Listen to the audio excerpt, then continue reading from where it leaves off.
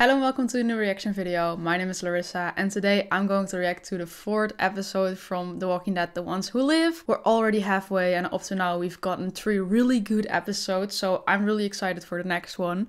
Before I start I want to tell you that you can get early access to the episodes every week on my Patreon. The link is in the description and on there you can also find my full reactions to the episodes. So yeah, just my full reaction to the full hour of the episode. Uh, like I said, if you're interested, link is in the description and uh, yeah, today, episode 4. In the previous one, we saw that Rick wanted Michonne to escape, but he kind of realized, like, okay, she has to get out of here, but if I don't help her from within, she's not gonna get out. So he was just trying to get her out, but she was obviously not gonna leave without Rick. Uh, so it ended with them being in a helicopter and Michonne pushing out Rick. And I was like, what the hell is happening? And like, they're probably gonna be fine, but I'm very much wondering uh, how they're gonna continue their journey now. So uh, let's check it out. What's the funny music?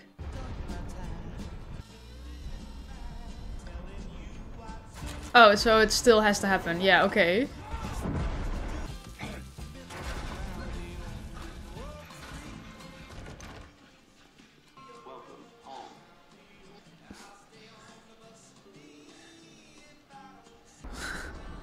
Did they know where to go or was this just a random building they ran into? I, I think so, right? Like if they planned out where to jump out of the helicopter, that, that would have been one hell of a thing. But it's like everything was just ready for them. It was just like, welcome home and, and the radio was on already and hmm. I'm kind of wondering right now, is there maybe someone living there? Or I don't know. Let's see. We needed a timeout. I can't believe you did that. Okay. I can't believe you said that. Your preferred temperature will be reached in 10 minutes. Yeah, because at one point I started to like doubt if Rick was in on this, but yeah, as far as we knew, he wasn't, so he wasn't. The hell is this place? All the lights are on, and yeah, I guess it's a smart house, but it was like that already, right? Imagine just chill living there in the zombie apocalypse. Wow. Oh, but no food, so there's no one living there? It looks very clean though.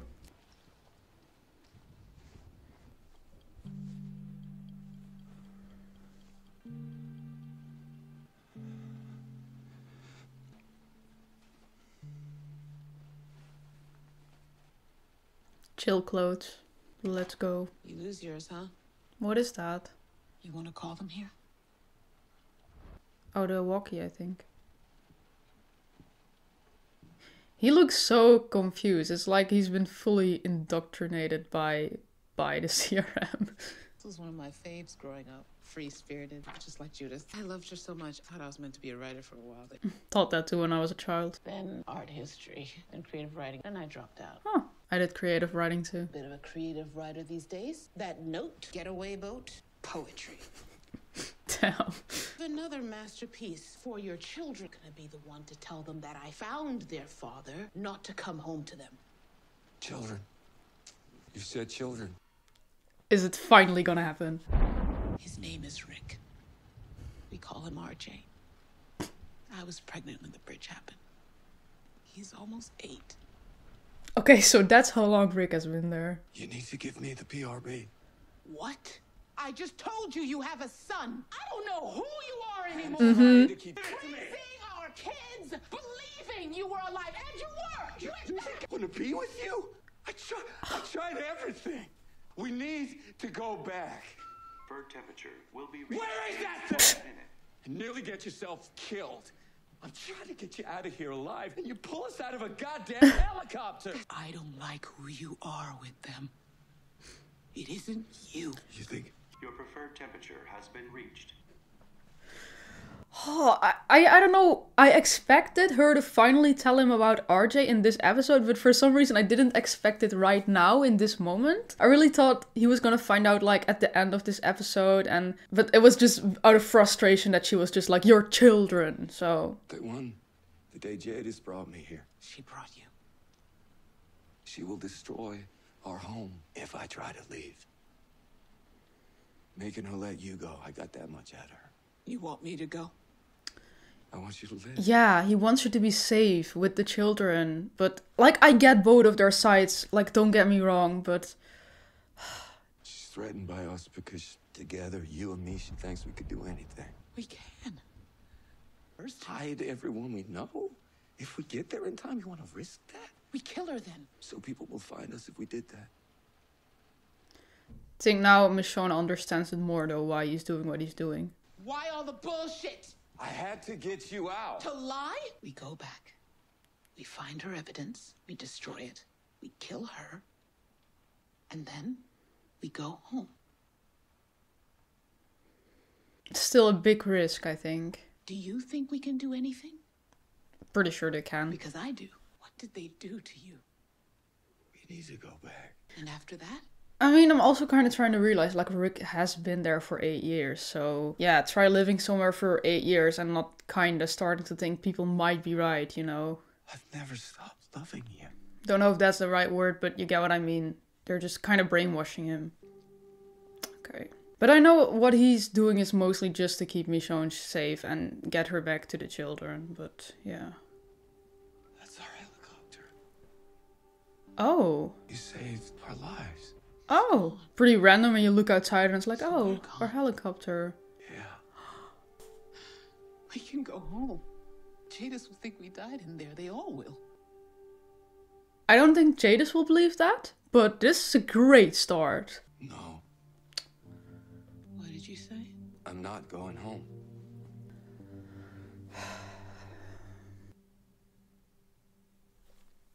Why? You know your son, the one you haven't asked anything about? He calls you the brave man. He started calling himself Little Brave Man. I loved that. Nat, my friend who your people killed, They're not my damn he said that I had to keep looking for you. He knew how it ended, but he still had my back. You can't really keep saying they're not my people and in the meantime wanting to be with those people, so. Sorry, Rick, but you're not getting a pass for that. At least try to look for a solution here. This is not what I had in my head at all. Just just to get this straight. We just got a way out. They think we're dead and you want to stay with an army that kept you against your will. I have to make sure you're protected. That's not it. I have to keep them from coming for our home. They could one day. One day? Like, you're not even sure. I stay and make sure Judith and our son are protected from. His name was Okafor. He wanted me to become a part of the CRM, move up, help him change it. So I gave myself to his mission. His mission. Yeah, like, sorry, but why would you give your entire life to change this community you don't even really want to be part of? You have your own life, you don't owe anyone anything. Saw you. You have a family. Exactly. You're trying to uh, keep us safe by maybe changing the CRM one day. Who might come after our home and put it in danger. Yeah, this doesn't make sense. That's it. You won't come home with me? To your life? Your kids? I don't want to do this. I have to. So no. That's not it. Yeah, there there has to be more. Back to my kids, who I left to find you. I found you. Fought for you. Yeah. Tried to reason with you. Everything she went through. And then he behaves like this. Like she has every right to be mad as hell right now. You're lying. Like, how are you gonna tell this to your kids? Like, oh yeah, I found your dad, but he doesn't want to come home to us because there is this community he finds way more more important, even though he hates them. Like, uh, come on, do something. This is not the Rick we know. Uh, poor Michonne. Just go. Really?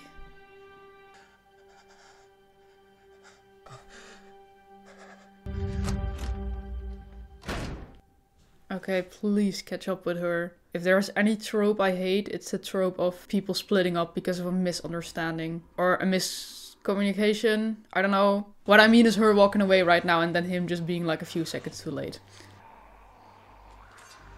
Ah, oh, Human.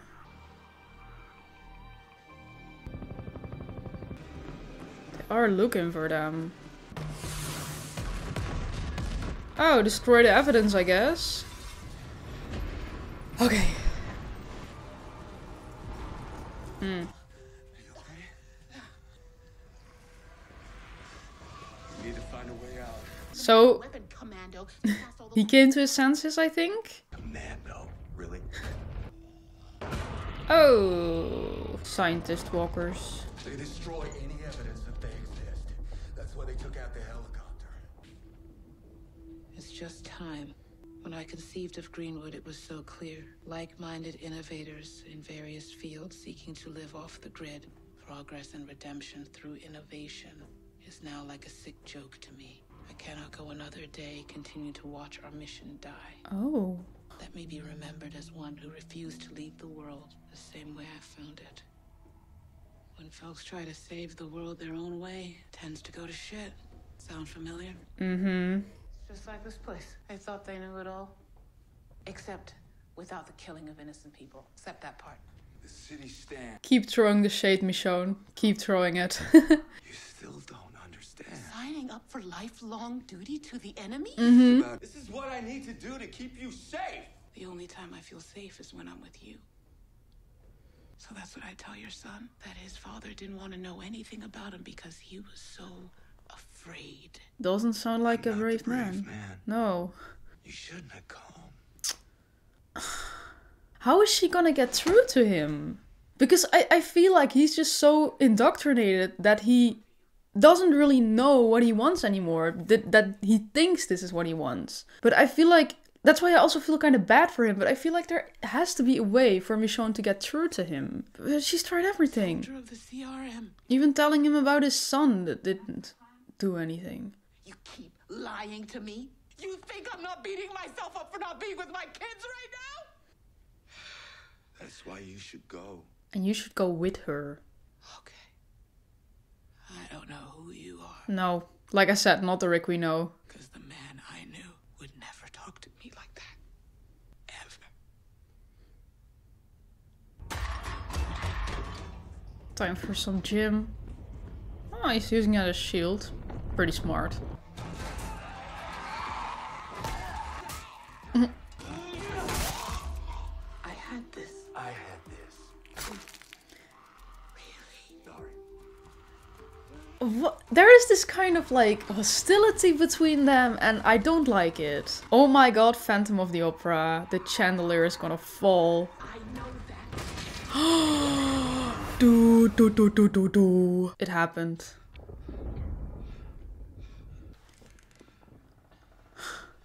I could. Okay, on the count of three. Damn, is it that heavy? Fuck. She's gonna be stuck there.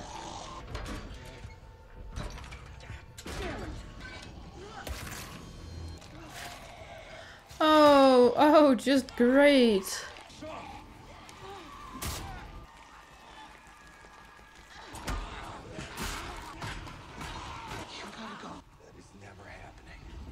Yeah. As she's never leaving without him, he's not leaving without her. As in, in a dangerous situation, I feel like he's totally fine with leaving her. oh, okay, finally. That was a little over dramatic. like, in the end, he just had to, like, use all his strength and then it was fine. But just to be like, you gotta leave me. like, nah. It's like the Titanic, leaving Jack to drown while there was clearly space on the thing.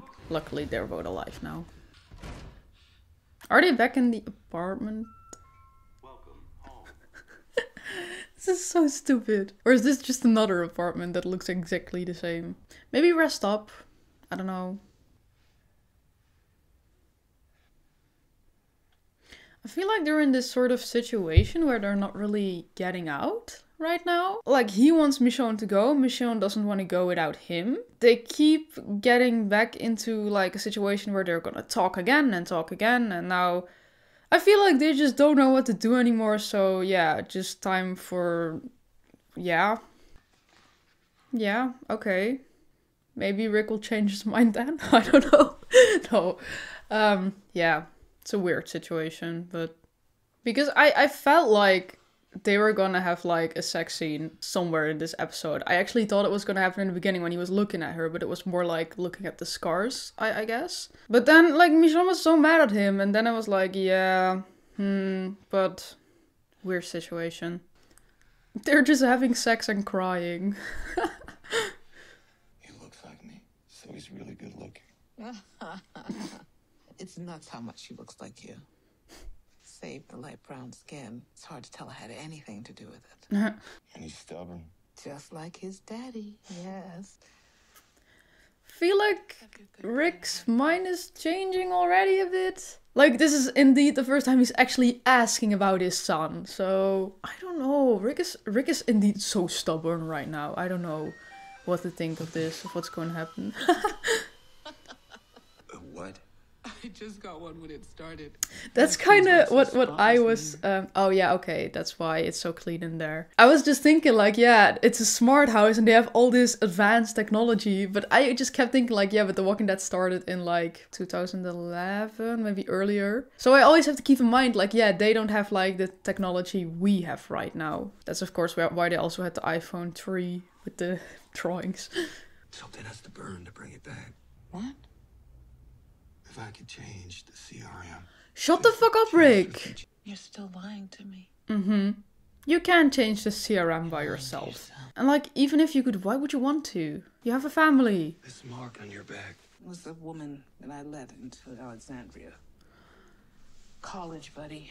You knew it? Do you see that? I, I vaguely remember this, yes. Searching for you every day. Me and It's Daryl. of course been a while. I couldn't stop believing you were still out there, needing help, needing me. Yeah, think of fucking Daryl who ended up in France because he was looking for you. Think about all your friends who kept looking for you. She stole Judith and some other kids. Yeah. She was sick. Yeah, yeah, yeah. did this to me and Daryl. Yeah. I don't want to go into how. You killed her. Yes, Good. Why did I know he was gonna say that? you did this to get away. It was the only way. Yeah, and then you still didn't get away. Now you do have a chance to get away, and okay, I'm just gonna shut up right now. I'm just repeating myself. You're still trying. I see it, even through the bullshit. You say you can't go home, but I don't think you can go back. I'm sorry for what they did to you. Running out of time. No, Sean, we need to decide what's next.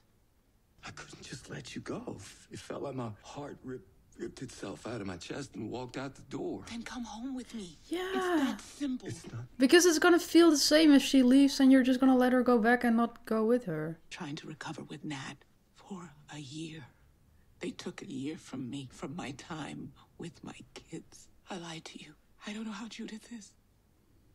She stopped answering the walkie. They've taken so much from us. Why give them any more? This hope that you have in the CRM, sacrificing yourself, it's not real. Our love, this, it doesn't get denied. It's hurting me, Rick. You're hurting me. And I know you. That is not how you love. Damn the monologues though. What did they do to you? Try to tell me what is really going on. Yeah, I'm also really wondering about that because all we know, right, is that that he doesn't want Carl. Carl. I lost him again. Oh, so he doesn't like remember him When I or got taken, I fought and I fought. I'd meet up with Carl in my dreams. no. And that's how I survived in here. And then one day he was just gone. He just left. But then I started dreaming of you. And it kept me going. Why they always go to mention Carl? like I get why, but it makes me cry. Without you, I die. You can't just come back here, make me come alive again. If I don't know if I won't lose you again. What if I lose you and I can't figure out how to die all over again? I can't. That's what he's afraid of? Damn, okay. When I saw you, I got so scared. And I- At least if I think you will live on longer than me, do I can just believe that it's true. Knowing, seeing that loss, That is not a healthy way. I won't survive that, Michonne. I just won't. So basically, what he's saying right now is that he finally kind of got over her, and then he sees her again, and now he's scared to lose her again. But if he doesn't go with her, he'll never know if she's alive or not, and he can just think she is. Carl. No. no. If Carl were here right now, what would he say? Yeah. Think of that. What would he want you to do with this new chance to be with those you love? I found you, Rick. You think that's all for nothing? For us to just go our separate ways? No, we go home, Rick. That's how we make it all make sense. We love on each other as hard as we can, while we can.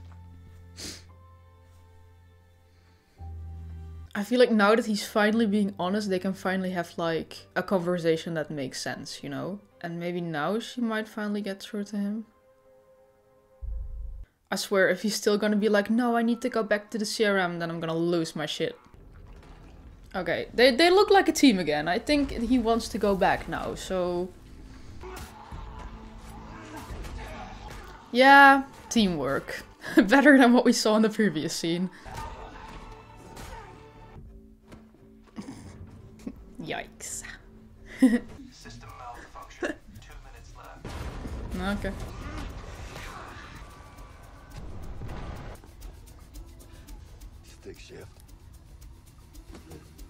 He doesn't know how to do that?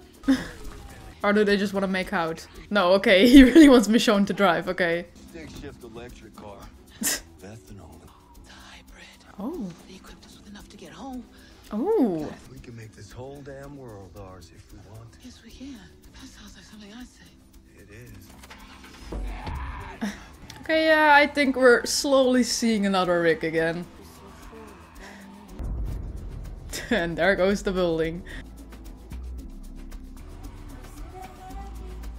Just in time.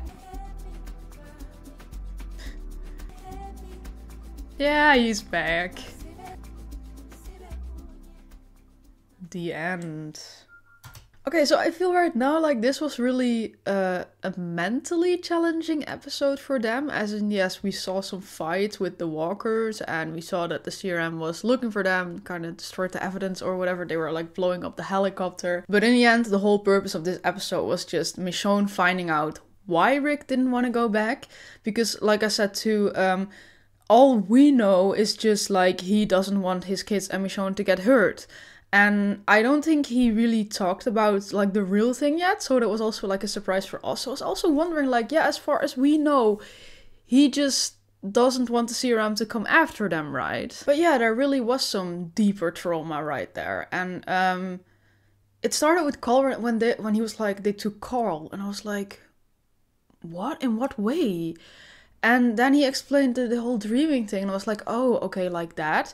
Um, and then apparently that happened with Michonne too, because of course in the first episode we did see the dreams of Michonne. Like, of course, what he's saying, it, it's like, it's a fear you kind of have to get over at that point, because it's not really like a realistic fear.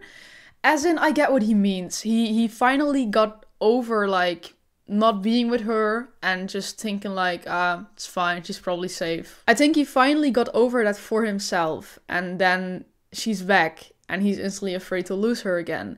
And just the way he explained like you're the love of my life i i can't lose you. Just thinking you're alive is enough for me and that he's so scared to go with her and lose her again I mean, yeah, that were some deeper issues. We could see that. So, honestly, at some point it got a little annoying because, like I said, the episode is a little repetitive. As in, the first thing we see is them talking, like, oh, you have to come with me. No. Michonne gets angry again. Every right to be angry because Rick was being pretty annoying. She gets out, he gets out, they fight some walkers, they get back. He still says, no, I don't want to go with you. And he kept saying that.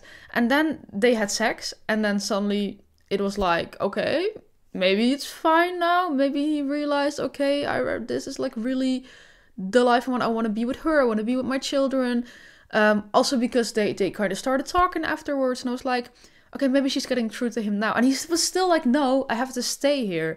So after the third time, I was like, okay, if you're not gonna tell the truth right now, just say one more time, no, it's because I want to make a better CRM. Like, I, I think I said enough about that during the episode, but first of all, why? And second of all, if you're able to do it, it's not your responsibility. So, eh. And then luckily he, he told the truth why he didn't want that. But that's why I think like this episode, it was like in this building. And I have to say, I think they did a good job though. Like, maybe this episode wasn't as strong as the other three episodes. It was still really good. It was a mental challenge for them and and that made it so different.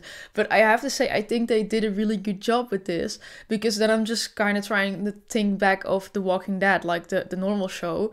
Um when I start thinking about two characters, like they they used to have those episodes, and I remember when we saw episodes like that where it was just two people in in one room the entire episode or one place, I got pretty bored, and then I was like, oh, I don't like this episode. But this episode, I have to say, I didn't feel bored one time. It was like, okay, maybe it wouldn't be an episode I would like really rewatch really fast. Um, because it's kind of like, yeah, okay, we kind of got the clue now. We found out what was going on sure but it didn't like i think they did a good job with like keeping the viewer there you know? Like i wanted to find out what was going on. I wanted to know what was going on with rick. And now to finally yeah see him find out about his son. Like i said i didn't expect him to just find out at the beginning of the episode. It kind of came as a shock for me too. But yeah michonne kind of said it out of anger but also out of a way to maybe yeah make him realize oh shit i have two children there. I need to go back um, didn't work at first. And like she said, he didn't ask a thing about him. And then, like later in the episode, he started asking some things about him. And then I also thought, like, okay, yeah, he's starting to get interested. He's starting to maybe realize, like, oh, I also have an obligation there. Um, so yeah, I'm glad they're on like one level again. Um, just the really childish thing with the fighting when they both like hit the same walker, and then he did the thing with the blood. And Michonne was like, Really? I was like, Whoa, this is the first time maybe I don't really see them as a, working as a team right now. Normally they're really working well as a team and yeah, just killing the walkers together. This wasn't really nice teamwork. And then we saw them kill the walkers, get to the car, and then we really saw them fighting as a team again. So yeah, I like that they did that too. Two episodes left. Oh, I'm so excited. I really hope they're gonna get back soon. Um, I'm also wondering, um, yeah, what the CRM is gonna do now, if they're gonna find them, stuff like that. Uh, so I'm looking forward to the next episodes, and uh, let me know what you thought of this episode. And if you want to see my full reaction to it, you can check out my Patreon. You can also get early access to the next episode next week. And if you like my reaction, then please leave a like, subscribe, and then I really hope to see you next week. Bye.